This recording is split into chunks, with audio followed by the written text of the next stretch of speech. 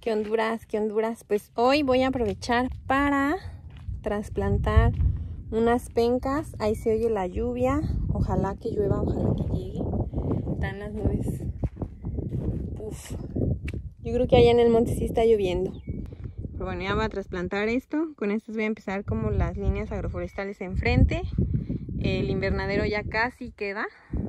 Me falta hacer esas dos paredes y techos que van a ser así con malla sombra como esta. Aquí ya tengo la malla que me faltó. Entonces esto lo iba a hacer hoy, aunque fuera un lado, pero voy a aprovechar el clima para ya trasplantar estas, que ya también les hace falta. Este, y bueno, voy a hacer esto. Estoy emocionada también de que ya va a quedar el invernadero para ya poder empezar a, a germinar cosas para meter allá en la línea y demás. Todo está fluyendo muy chido, la verdad. Traigo aquí ya unas pencas y voy a hacer, o sea, esto ya la verdad sí está, es como un espacio bien experimental, siento. Eh, porque obviamente no tengo experiencia en nada de esto. Entonces, bueno, vamos a empezar a experimentar. Aquí junto, o sea, esta es una línea de árboles frutales que tengo, ¿no? Son naranjas y dos toronjas. Y atrás, pues es, la idea es que haya otro árbol, pero pues ahorita no hay nada, ¿no? Eh, porque murió dos intentos fallidos allá atrás. Primero un limón, creo, y luego fue un encino, pues no, no le dio. Entonces aquí más o menos cerca voy a empezar la línea de nopaleras como para que me sirva de cortavientos y para taparle el sol a estos árboles. Y prontamente, nada más que esté terminado el invernadero, me voy a traer aquí plantas y árboles que ya tengo unos germinados. Voy a echar semilla o voy a sembrar la semilla en, semillero primero, no sé pero ya voy a empezar a meterle acá mucha más vegetación y así. Igual aquí en medio, tal vez lo que haga sea una huerta o milfa o algo así, para aprovechar todo este espacio y lo que voy a estar trabajando aquí, centrarme en esta parte. Y esto mismo, por ejemplo, si aquí sembrara sorgo o maíz para las gallinas o para mí o lo que sea, pues ya todo el rastrojo que queda, todo lo que queda después ya que se cosechan la semilla tanto del maíz como del sorgo, eh, cortarlo y que quede como de biomasa aquí en esta parte, ¿no? O sea, tanto para los o sea, moverlo como a los árboles o algo así. Y eso me va a ir ayudando también como a generar biomasa e ir nutriendo, ¿no? Y luego acá está esta otra línea de árboles que tengo el peral, una naranja, ahí hay una cajita que tenía un aguacate y murió, un aguacate criollo, una papaya y no, ninguno de los tres. Y allá atrás tengo una guayaba y atrás también había un limón que falleció.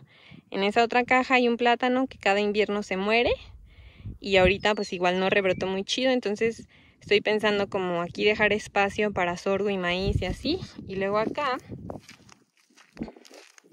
entre estas dos, igual dejar así el espacio como de siembra.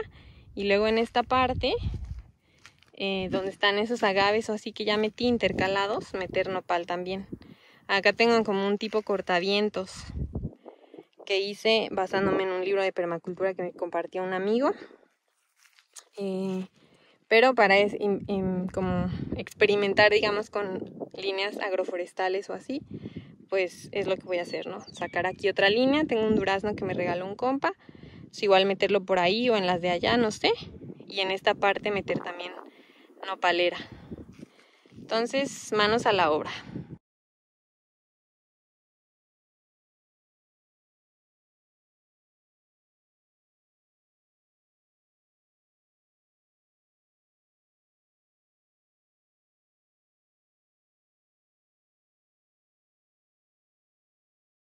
Bueno, aquí ya tengo más o menos la línea de nopales, los voy a sembrar así más o menos seguido y total después los podo y les saco pencas para irlo eh, como reproduciendo, digamos. Lo chido de esto también es que este, pues, en un futuro para mí puede ser productivo tanto para alimentarme yo como para vender nopalitos, ¿no? El nopal es algo que aguanta estos climas, como pueden ver está sequísimo ahorita, entonces yo creo que sí me va a aguantar chido. Esperemos. Obviamente también pues sí les voy a echar así una ayudita de riego de vez en cuando. Em, ¿Qué más? Pues eh, vean cómo viene el viento predominante como de allá, ¿verdad? Y aquí ventea casi prácticamente diario, ¿no? Y más o menos fuerte. Entonces cuando hay, hay mucho calor, obviamente el viento también ayuda a que se seque. Ahorita yo provisionalmente puse estas cajas y les tengo mantillo a los árboles, así de manera individual. La idea es ya con el sistema agroforestal, pues meter paja y tal vez estos ya quitarlos cuando esto ya esté más grande o no sé, ¿no? Tal vez sí dejar las cajas como para que vayan creciendo mientras y se protejan en lo que al mismo tiempo van creciendo estos, estos nopales. Y eh, bueno, también un amigo de Tierra Mestiza Permacultura me, me, compartió el que la mejor forma de poner los nopales es como a 30 grados. Digamos que mi pulgar es como la línea de tierra y ponerlo así. No así, ni tampoco totalmente acostado, sino como un poco inclinaditos así. Entonces ahorita voy a poner esos. Los nopales también tienen la ventaja que luego entre las espinitas o así empiezan a echar raíz, que es lo que pasó con los órganos que tengo por allá atrás. O sea, trasplanté varios órganos totalmente horizontales y vean, ya traen varios hijitos, Más productivo que si les hubiera puesto parados todos. Ahí van, ahí va la cerca viva. Entonces la idea es lo mismo también con los nopalillos. Entonces bueno, ahorita voy a empezar a eh, pues ya plantar algunos. Voy a ver si los separo un poquito más. Ahorita veo y ya les voy a enseñar cómo va quedando.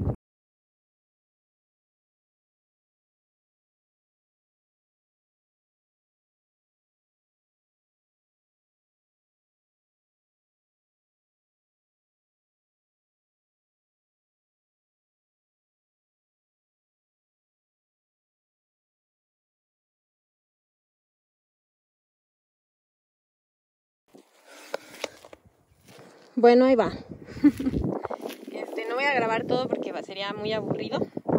Pero ahí están quedando más o menos. Vean, es como más o menos la idea, ¿no? Ponerlos un poco inclinados. De ahí que empiecen a enraizar. Y pues ya que crezcan.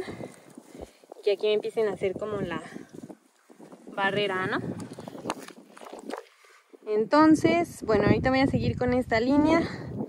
Y la de allá ya les enseñaré cómo queda este primer experimento de la, las líneas agroforestales y pues a ver, a ver qué tal, qué más va saliendo. Pues ahí quedó ya.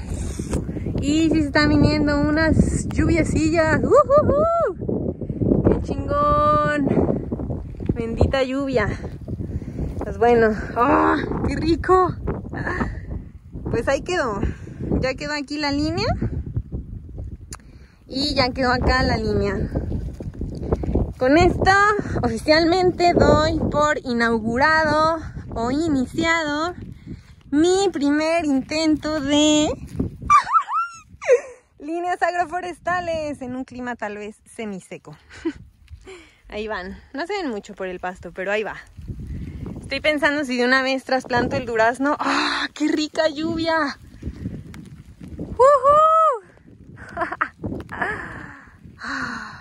Gracias, vida. Qué chingón.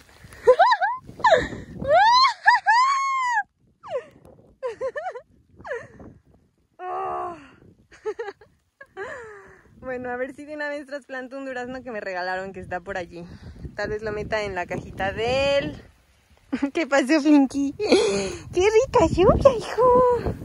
De dónde estaba el aguacate, atrás de esta naranjita por allá. Y también quiero darle como un agradecimiento, que igual nunca ven este video, ¿no? Pero al ingeniero Aurelio de la Secapa, que fue el que ahí en el Parque Tangamanga de San Luis, eh, digo ahí en mis redes así, creo que les he contado de cómo me fue a mí en un momento cuando quise buscar como apoyo en gobierno para árboles y esa onda, para reforestar aquí, no tuve éxito, pero ahora en el Parque Tangamanga y en la Secapa pues ahí me donaron estas 50 pencas y así donan para las comunidades, entonces la neta pues también, o sea, lo quiero como mencionar y también pues agradecer de que pues esto sucedió, ¿no? Porque sí, pues me está alivianando para esta parte del proyecto. Y bueno, aquí el clima, pues sí, o sea, este lugar tenía fama de tener lluvias muy abundantes y eso, los últimos dos años no ha sido tan eh, lluvioso, pero este, bueno, sí parece un poco como semiárido, es extraño. No, sé bien qué clima es, pero pues ustedes pueden ver, ¿no? Está bastante seco. Mezquites, huizaches, hay vegetación así que se da muy bien, que sí siento que es como de clima semiárido o semiseco. Entonces los nopales, si alguien está empezando un proyecto así, pues siento yo que pueden ayudarles. O sea, los órganos ahí van, esos yo prácticamente no los riego. Los agaves también jamás los riego y van súper bien. Eh, ¿Qué más? Eh, corté unos nopales que tenían un mezquite allá enfrente, cerca del domo. Y los usé como de para hacer viva en lo que saco más órganos y demás. Y van, o sea, los corté en noviembre, diciembre tal vez. Y ahorita van, ya tienen penca, unos hasta están echando flor. Entonces sí es algo que les aguanta bastante bien como para empezar en estos climas. Como con lo que podemos empezar y pues poco a poco ir metiendo también otras especies igual y luego les, ya que empiece a armar las líneas, les voy a contar un poquito de lo que he estado aprendiendo en el curso en línea que estoy tomando de, sistemas agroforestales justo, eh, de los estratos y ciclos de vida y demás, considerar cómo acomodar las especies. Pero bueno, ya siento que está más aterrizado lo que estoy haciendo, que ya no es de plano inventos míos, ya es como un conjunto de lo que yo he aprendido observando y demás, con también ¿no? Estas, estos conocimientos que han llegado a mí de amigas y amigos que comparten sus saberes conmigo, como de cursos, como de libros, como de todo, y ya está todo como conjugándose este experimento, que igual es un experimento, pero ojalá funcione. Y estoy muy emocionada de empezar. Ya es como el inicio ahora sí de, de esto y ya mucho mejor pensado siento yo y planeado y todo. Y no sé, me vibra como que como que va a salir chido. Espero que sí. Ya les iré contando más en otros videos del avance, de las líneas, de cómo van los nopales, etcétera, de cómo va a estar todo, del invernadero ya que lo acabe, que espero que este fin ya lo acabe. Hoy es miércoles. Espero en estos días ya terminarlo el fin de semana ya también les haré el video con el tour, me va a traer las plantas, etcétera. Pero bueno, ya siento que este proyecto ahora sí va arrancando con todo. O sea, después de tres años, por fin ya me mudé hace casi cuatro lunas. Y, ya ahora sí, estoy metiendo gas a esto. Y gracias a todas las personas que de una u otra forma han colaborado con el proyecto. De verdad. Gracias a la vida, a las sincronicidades, a todo porque esto ya está sucediendo y me emociona mucho. ya voy a llorar. Qué emociona. Pero sí, sí me emociona mucho. Y también es interesante como aprender sobre este espacio y sobre este clima y las condiciones ver qué se da y qué no se da aquí. Y wow, es chido. O sea, siento que es algo complejo dentro de lo simple que puede ser. Pero una vez que empiezas como a hacer clic y a conocer el espacio y a observar y como a conectarte y empezar a mimetizarte o volverte uno con el espacio que habitas, esto fluye mejor. Entonces, bueno, esperemos que así sea.